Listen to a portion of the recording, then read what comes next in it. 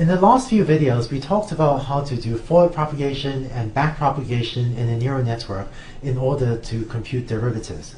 But backprop as an algorithm has a lot of details and, you know, can be a little bit tricky to implement. And um, one unfortunate property is that there are many ways to have subtle bugs in backprop so that if you run it with gradient descent or some other optimization algorithm, it could actually look like it's working. And you know, your cost function j of theta may end up decreasing on every iteration of gradient descent, but the, this could hold true even though there might be some bug in your implementation of backprop. So it looks like j of theta is decreasing, but you might just wind up with a uh, neural network that has a higher level of error than you would with a bug-free implementation, and you might just not know that there was this subtle bug that's giving you worse performance. So what can we do about this? There's an idea called gradient checking that eliminates almost all of these problems. So today, every time I implement backpropagation or a similar gradient descent algorithm on a neural network or any other reasonably complex model, I always implement gradient checking. And if you do this, it will help you make sure and sort of gain high confidence that your implementation of forward prop and back prop or whatever is 100% correct. And uh, in what I've seen, this pretty much eliminates all the problems associated with sort of a buggy implementation as a prop. And um, in the previous videos, I sort of asked you to take on faith that the formulas I gave for computing the deltas and the d's and so on, I asked you to take on faith that those actually do compute the gradients of the cost function. But uh, once you implement numerical gradient checking, which is the topic of this video, you'll be able to sort of verify for yourself that the code you're writing does indeed is, is indeed computing the derivative of the cost function j.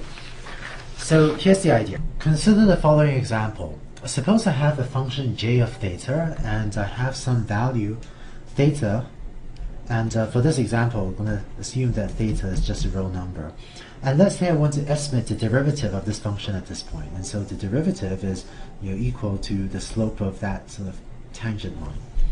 Here's how I'm going to numerically approximate the derivative, or rather here's a procedure for numerically approximating the derivative. I'm going to compute theta plus epsilon, so value a little bit to the right, and I'm going to compute theta minus epsilon, and I'm going to look at those two points and connect them by a straight line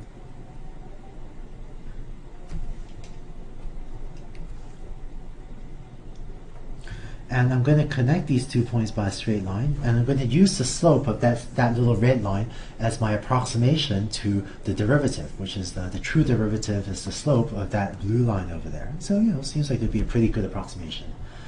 Mathematically the slope of this red line is this vertical height divided by this horizontal width. So this point on top is j of theta plus epsilon this point here is j of theta minus epsilon, so this vertical difference is j of theta plus epsilon minus j of theta minus epsilon, and this horizontal distance is just 2 epsilon. So my approximation is going to be that the derivative with respect to theta of j of theta at this value of theta, that that's approximately j of theta plus epsilon minus j of theta minus epsilon over to epsilon. Usually, I'll use a pretty small value for epsilon and set epsilon to be maybe on the order of uh, 10 to the minus 4 there's usually a large range of different values for epsilon that work just fine. And in fact, um, if you let epsilon become really small, then mathematically this term here actually mathematically you know, becomes the derivative, becomes exactly the slope of the function at this point. It's just that we don't want to use epsilon that's too, too small because then you might run into numerical problems. So, you know, I usually use epsilon around 10 to the minus 4, say. And by the way, some of you may have seen an alternative formula for estimating the derivative, which is this formula. This one on the right is called the one-sided difference, whereas the formula on the left, that's called the two-sided difference. Uh, the two-sided difference gives us a slightly more accurate estimate, so I usually use that rather than this one-sided difference estimate. So concretely, what you implement in Octave is you implement the following. You implement code to compute grad approx, which is going to be our uh, approximation to the derivative as just you know this formula j of theta plus epsilon minus j of theta minus epsilon divided by 2 times epsilon. And this will give you a numerical estimate of the gradient at that point. And in this example it seems like it's, it's a pretty good estimate. Now, on the previous slide, we considered the case of when theta was a real number. Now let's look at a more general case of when theta is a vector parameter. So let's say theta is an Rn, and it might be an unrolled version of the parameters of our neural network. So theta is a vector that you know has n elements, theta 1 up to theta n. We can then use a similar idea to approximate all the partial derivative terms. Concretely, the partial derivative of a cost function with respect to the first parameter, theta 1, that can be obtained by taking j and increasing theta 1. So you have j of theta 1 plus epsilon and so on, minus j of this theta 1 minus epsilon and divided by 2 epsilon. The partial derivative with respect to the second parameter theta 2 is again this thing except that you take j of here you're increasing theta 2 by epsilon and here you're decreasing theta 2 by epsilon and so on down to the derivative with respect to theta n would be if you increase and decrease theta n by epsilon over there. So these equations give you a way to numerically approximate the partial derivative of j with respect to any one of your parameters theta i. Concretely, what you implement is therefore the following. We implement the following in octave to numerically compute the derivatives we say for i equals 1 through n, where n is the dimension of our parameter vector theta, and I usually do this with the unrolled version of the parameters. So, you know, theta is just a long list of all of my parameters in my neural network, say. Eh? I'm going to set theta plus equals theta, then increase theta plus uh, the ith element by epsilon. And so, you know, this, this is basically theta plus is equal to theta except for theta plus i, which is now incremented by epsilon. So, so theta plus is equal to right? Theta 1, theta 2, and so on, and then theta i has epsilon added to it, and then I go down to theta n. So this is what theta plus is. And similarly, these two these two lines set theta minus to something similar, except that uh, this, instead of theta i plus epsilon, this now becomes theta i minus epsilon. And then finally, you implement this, grad approx i, and uh, this will give you your approximation to the partial derivative with respect to theta i of j of theta. And the way we use this in our neural network implementation is we would implement this, implement this for loop to compute the partial derivative of the cost function with respect to every parameter in our network. And we can then take the gradient that we got from backprop. So dvec was the derivatives we got from backprop. Right, so backprop, backpropagation was a relatively efficient way to compute the derivatives or the partial derivatives of a cost function with respect to all of our parameters. And what I usually do is then take my numerically computed derivative, that is this grad approx that we just had from up here, and make sure that that is equal or sort of approximately equal up to you know small values of numerical round off, that is pretty close to the dvec that I got from backprop.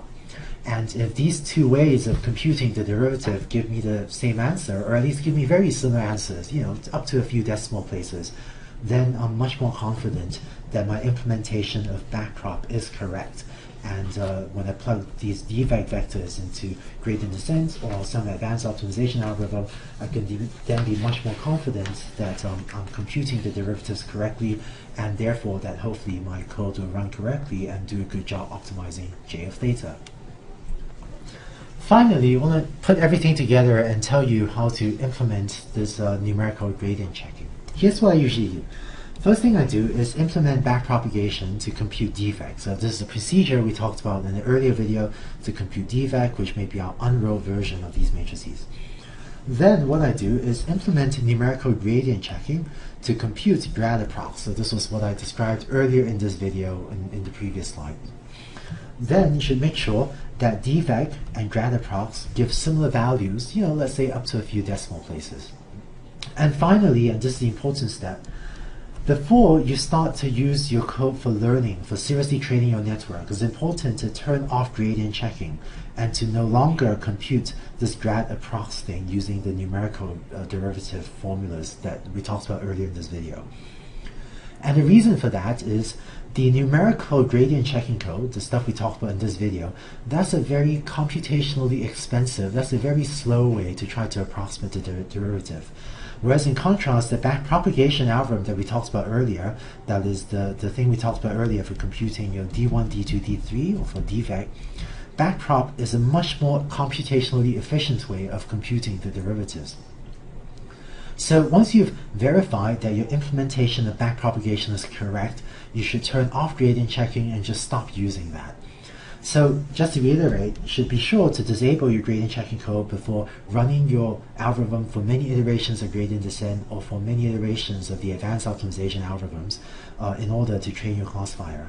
Concretely, if you were to run numerical gradient checking on every single iteration of gradient descent, or if it were in the inner loop of your cost function, then your code would be very slow because uh, the numerical gradient checking code is much slower than the backpropagation algorithm, than the backpropagation method where you remember we were computing delta 4, delta 3, delta 2, and so on. That was the backpropagation algorithm. That is a much faster way to compute derivatives than gradient checking. So when you're when you're ready, once you verify the implementation of backpropagation is correct, make sure you turn off or you disable your gradient checking code while you're training your algorithm, uh, or else your code could run very slowly. So that's how you take gradients numerically, and that's how you can verify that your implementation of backpropagation is correct. Whenever I implement backpropagation or a similar gradient descent algorithm for a complicated model, I always use gradient checking, and this really helps me make sure that my code is correct.